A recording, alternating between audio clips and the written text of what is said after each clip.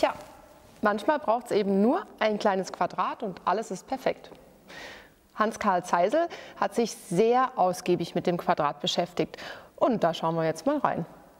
Ich bin Hans-Karl Zeisel, ein dem Bauhaus nahestehender konkreter Künstler.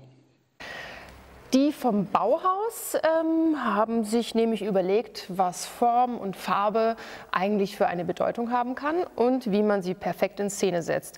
Und deshalb ist dieses wichtige Buch zum Thema Bauhaus auch rund. Ich habe 2006 das Six Square Art Spiel entwickelt.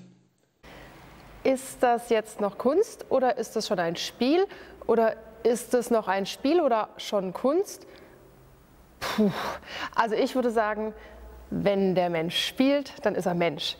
Äh, nee, das hat Schiller gesagt. Egal, Spielen ist großartig. Six Square ist eine Stahlplatte, weiß mit aufgedrucktem schwarzen Quadrat. Man kann mit vier Magnetblättchen unendlich viele Möglichkeiten der Gestaltung, der abstrakten Gestaltung wahrnehmen.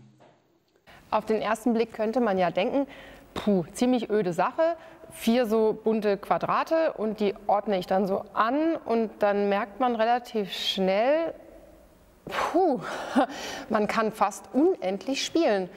Ist das nicht fantastisch? Man selbst verliert sich beim Spielen mit vier albernen kleinen Quadraten.